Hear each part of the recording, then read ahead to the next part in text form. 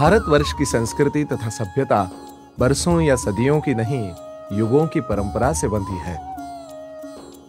इस भूमि के हर कोने में इस विशाल संस्कृति के मानदंड दिखाई देते हैं। लेकिन उनकी खोज और अभ्यास के लिए कठिनाइयों के मार्ग पर चलना पड़ता है। यह कहानी उस व्यक्तित्व की है जिसका पूरा जीवन इन्हीं रास्तों से आगे बढ़ा है। इस देश का इतिहास नए सिरे से खोजने वाली और इस संस्कृति को एक नया आयाम प्रदान करने वाली इस हस्ती का नाम है पद्मश्री डॉक्टर विष्णु श्रीधर वाकणकर। जिन्हें सभी हरिभाऊ वाकणकर के नाम से जानते हैं। हरिभाऊ का जन्म 4 मई 1919 को मध्य प्रदेश के निमच नाम के एक गाँव में हुआ। बचपन से ही उन्हें विभिन्न भाषा और संस्कृतियों के संस्कार मिले, जो आगे चलकर उनके जीवन कार्य की नींव बन गए। हरिभाऊ ने अपना पूरा जीवन भारत की सांस्कृतिक परंपरा को पुनर्जीवित करने के लिए समर्पित किया। उन्होंने उज्जैन के विक्रम विश्वविद्यालय में पुरातत्व विभाग और संग्रहालय की स्थापना की। भारत के इतिहास को नई सोच और नई दृष्टि देने वाले इस महान विभूति के कार्य को समझने का ये अल्प सा प्रयास है। भारत में ललित कलाओं की बहुत पुरानी और व्यापक परंपरा है। हमारी समृद्ध कलाओं का प्रतिबिंब, हमारे चित्र, नृत्य तथा संगीत में सदा झलकता है। इन कलाओं से जुड़े हुए कलाकारों को एक साथ एक छत्र के नीचे लाकर अपनी विचार परंपरा का परिचय भारत के हर क्षेत्र में विस्तारित करने और उसे आबादित रखने हेतु हरिभाऊ जी ने अपने कुछ साथियों समवेत 11 जनवरी 1981 के शुभ दिन पर संस्कार भारती की नींव रखी और जीवन पर्यंत उसके महामंत्री रहे।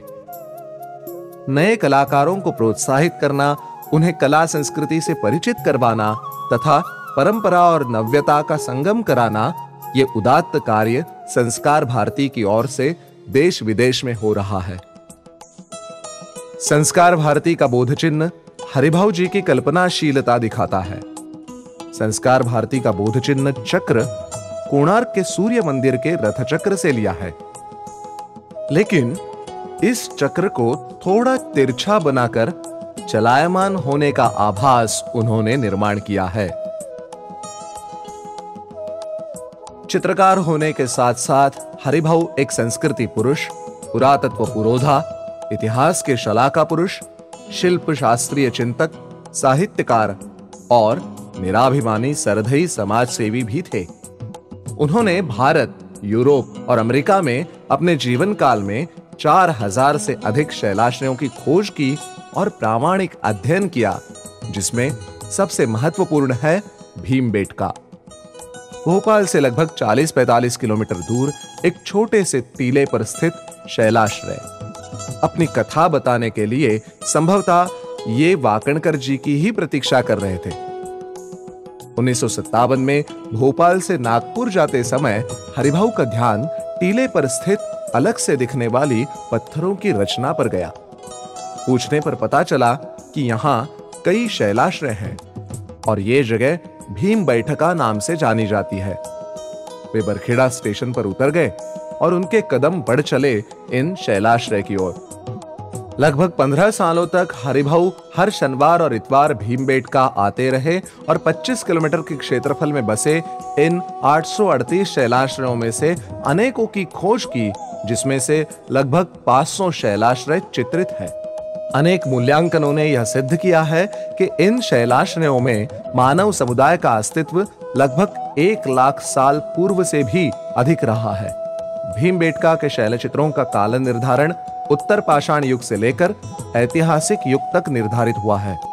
यानी आज से दस हज़ार साल पूर्व से लेकर 300 साल पूर्व तक के शैल चित्र यहाँ दिखाई देते हैं, जिसमें आखेट, यानी शिकार दृश्य,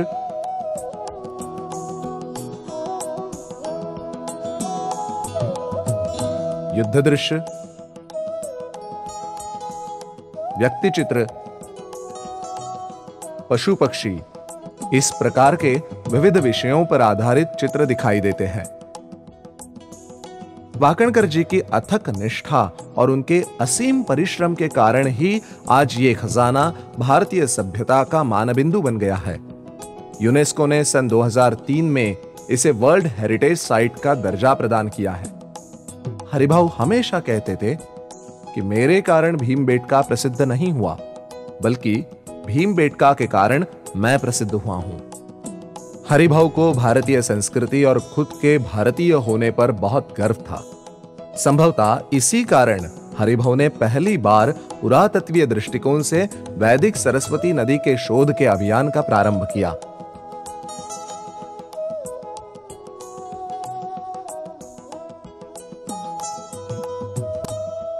कुल 4000 किलोमीटर की इस यात्रा का आरंभ 20 नवंबर 1985 को हरियाणा के आदि बद्री से हुआ।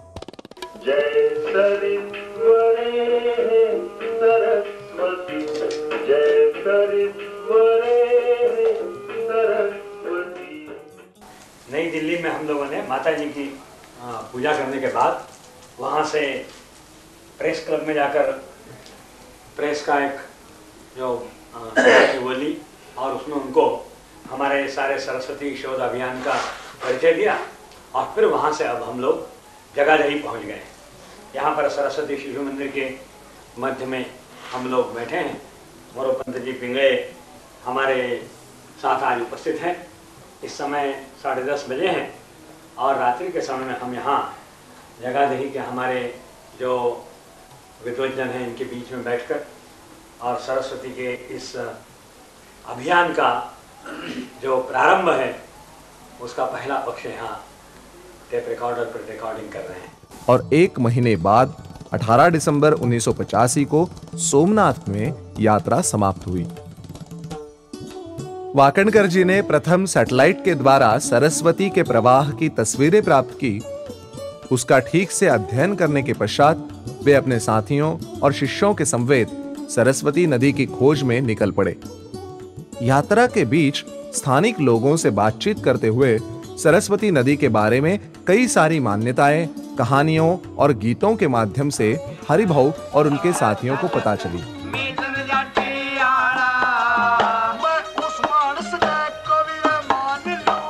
ये लोग भी स्थानिक लोगों और इतिहास के अभ्यासकों को अपने खोज कार्य की जानकारी देते रहे। सरस्वती के जन्म के बारे में और उसको कहाँ से निकली, ये भी बहुत बार ऐसा होता है कि मैं ऐसा समझता हूँ कि ये तो जैसे जैसे शिवालिक का अभ्युल हो रहा था, इसके स्रोतों में भी परिवर्तन आ रहा था। इसकी सहोदर जो बहनें थी, वो इससे और दूर दूर जा रही थी। जो इससे आकर मिलती रहती थी, वो इससे दूर होती गई और इस कारण धीरे धीरे यहाँ पर एक रिक्तता खड़ी हुई, जिसके कारण ये सारा मोहनजोदारो हड़प्पा की इतनी बड़ी प्रचंड सभ्यता। यहाँ से नष्ट नहीं हुई है। नष्ट होने का कोई प्रमाण आज तक नहीं मिला है। धीरे धीरे धीरे धीरे डिसइंटीग्रेट हुई है। और डिसइंटीग्रेट होने के बाद वो संपूर्ण भारतवर्ष में उसका प्रभाव छा गया है। सरस्वती का जितना वर्णन वेदों में किया गया है, शायद अन्य किसी नदी का नहीं किया गया। इतना विशाल ये नदी आज लुप्त हो गई ऐसा अपने को लगता है। पर एक अनुभव जो हम कर रहे हैं वो ये है कि इसी प्रवाह के किनारे किनारे जब हम जाते हैं तो पानी बड़ा मीठा होता है। इससे जरा हम चार फरलांग इधर या चार फरलांग उधर जाते हैं, पानी में खारापन आने लगता है। और इसलिए इसको हम कहते हैं अंतस्तरीला है। ये बह रही है इस रेती के बीच में से ऐसा लगता है। प्रवाह इसका कहीं ना कहीं बराबर बराबर चला जा रहा है। और यही अनुभव राजस्थान में भी होता है। जहाँ हम सरस्वती का किनारा ढूंढते हैं, वहाँ पानी मीठा मिलता है। उसके इधर उधर जाते हैं तो पानी खारा मिलता है। ये केवल हमारा ऑब्जर्वेशन नहीं है। एरिड रिसर्च इंस्टीट्यूट जो ये है राजस्थान की उनका भी यही ऑब्जर्वेशन है। वाकणकर जी मोरोपंत पिंगले जी और अन्य साथी उन्हें हड़प्पा संस्कृति भारत के मूल निवासी आर्य भारत की प्राचीनता एवं वैभव के बारे में भी बताते रहे। हम लोग दो तीन चार साल पहले दिल्ली में बैठकर वहाँ के जो एसपी गुप्ता और हम सब लोग मिलकर विचार कर रहे थे कि एक अंतर्राष्ट्रीय सेमिनार करना चाहिए। और उसमें ये जो अपने विचार हैं, ये केवल अपने ही विचार नहीं है, पाश्चात्यों के अनेक विद्वानों के विचार हैं, एक बार विश्व के सामने रखना चाहिए कि कोई आर्य जाति की, जाति नाम की कोई जाति और सेंट्रल एशिया से इस देश में नहीं आई। और इसकी उत्पत्ति, इसका विकास, इसका सब कुछ, जो कुछ हुआ है, वो इसी भूमि में हुआ है। इस अन्याय को दूर करना आवश्यक है। आद्य वैदिक काल का जो इतिहास है, वो हमको हरप्पा के पूर्व की, जिसको प्रिय हरप्पन कहते हैं, आजकल कालीबंगा में वो मिला है। कालीबंगा में एक बड़ी भारी विशाल यज्ञशाला मिली। अरे, यज्ञशाला मिलते ही डंके की चोट पर ये चिल्ला चिल्ला कर लोगों को बताना चाहिए था कि देखो, ये वैदिक संस्कृति का सबसे बड़ा प्रमाण मिला है। विशाल का कोट, परकोटा मिला है। उस परकोटे के अंदर एक विशाल यज्ञशाला मिली। यज्ञशाला के अंदर तीन यज्ञ कुंड मिले। इतना ही नहीं तो इस यज्ञ कुंड के अंदर जो बलि दिए गए पशुओं की हड्डियाँ मिली हैं। यजुर्वेद के पद्धति के अनुसार मिट्टी के गोले बनाकर इस अग्नि को जो दिए जाते थे, वो सारे मिट्टी के गोले उन यज्ञ कुंडों में मिले। और अधिक क्या प्रमाण चाहिए? अश्व मिला। परंतु सब लोग चुपचाप 20 साल हो गए उस खुदाई को। कहीं छोटा मोटा इधर उधर उल्लेख करके और छोड़ रहे हैं। क्यों? कि डर है कि कहीं पाश्चात्य जगत के मार्केट में हमारा भाव कम नहीं हो जाए। मैंने इतना कोई भय चकित क्या पता नहीं, कुछ नहीं देश स्वतंत्र हो गया है। डरने की बात क्या है? इस प्रकार निर्भय होकर वाकणकर जी अपने विचार प्रकट करते और स्थानिक लोगों के साथ ही इतिहासकारों का भी प्रबोधन करते। उनकी बातों में हाव भाव में देश के प्रति अतीव प्रेम दिखता और भारत की प्राचीनता विश्व के सामने उजागर करने की तड़प और व्याकुलता साफ़ नज़र आती। डॉक्टर वाकणकर जी की एक और खोज एवं प्रस्तावना ने उन्हें वैश्विक प्राच्य दृष्टा बनाया। उज्जैन से 30 किलोमीटर की दूरी पर डोंगला गाँव। उस स्थान की खोज की, जहाँ कर्क रेखा स्थानीय देशांतर एक दूसरे को काटते हैं और प्रस्ताव किया कि डोंगला को अब विश्व शून्य देशांतर बिंदु के रूप में मान्यता मिलनी चाहिए और अब से अंतरराष्ट्रीय समय गणना देशांतर से होनी चाहिए। जीएमटी नहीं डीएमटी होना चाहिए। हरिभाव ने भारत के विभिन्न कोनों में अनेकों उत्खनन किए हैं और अपने शोधों की विश्वसनीय प्रामाणिकता सिद्ध की, जैसे कि भानपुर, कायथा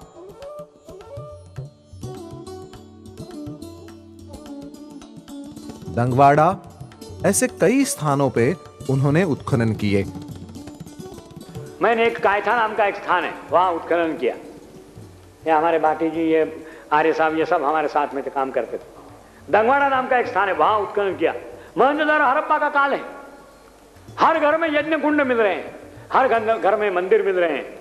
घर में मंदिर और यज्ञ मिलते ही हमने कहा कि बस आज का ये प्रसंग है। कि इसको तुरंत ही घोषित करना चाहिए। इसलिए जो पहली उसके बाद कॉन्फ्रेंस हुई, उस कॉन्फ्रेंस में सचित्र सारा ये जो है विषय हमने प्रतिपादित किया।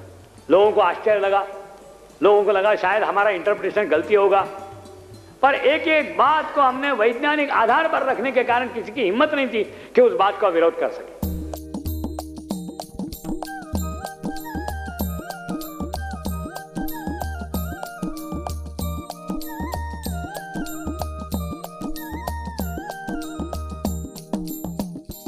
उन्होंने हज़ारों मुद्राओं का संकलन भी किया।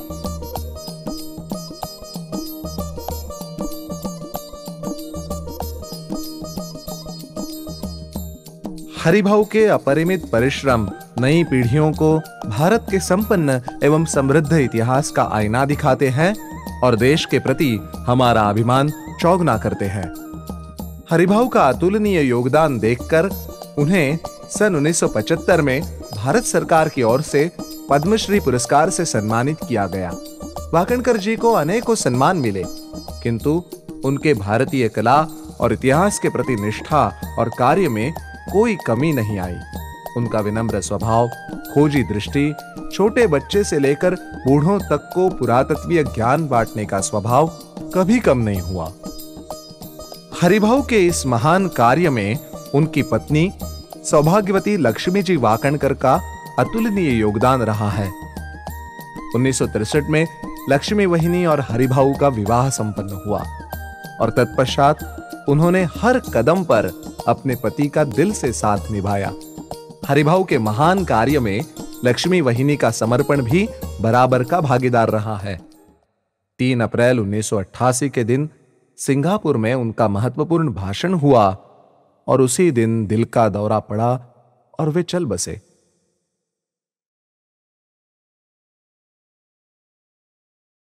जब यह दुखद घटना घटी, उस समय भी वाकणकर जी अपने कमरे की खिड़की के सामने दिखने वाले दृश्य का रेखा चित्र बना रहे थे। हरिभाव की कार्यनिष्ठा का इससे बड़ा आदर्श और क्या होगा? फल की अपेक्षा न करते हुए एक संस्कृति साधक कर्मयोगी की तरह वे जीवन के अंतिम क्षण तक अपने काम से जुड़े रहे। इस महत्तम हस्ती ने भारतीय संस्कृति का ध्वज पूरे विश्व में अभिमान से लहराया।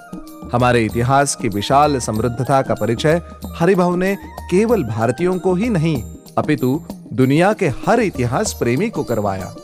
अपने विराट कार्य से हरिभाव इतिहास के पन्नों में और हमारे मन में अमर रहेंगे। गूंज है कहीं महलों के दरो दराजों की। लहर कहीं अटकी पड़ी है अतीत के आवाजों की। आने वाली कल की सदा बीता हुआ कल है। निर्माण के ध्यास में व्यग्र एक गहरा समंदर है। ढूंढता है जो मोती पत्थर की लकीरों से। छुड़ाता है वक्त को वक्त की जंजीरों से। ना कहा ना कह सकेगा वो वक्त उसको अलविदा। ना कहा ना कह सकेगा वो वक्त उसको अलविदा। दिशा बनकर रह गया है शख्स जो दिल में सदा।